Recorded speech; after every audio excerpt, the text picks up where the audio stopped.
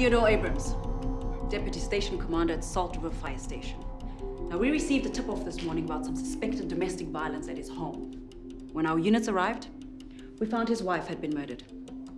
Theo was arrested as a prime suspect, but he has since escaped custody, killing four of our men and one more person who was in police custody. Now, the man is considered to be armed and dangerous.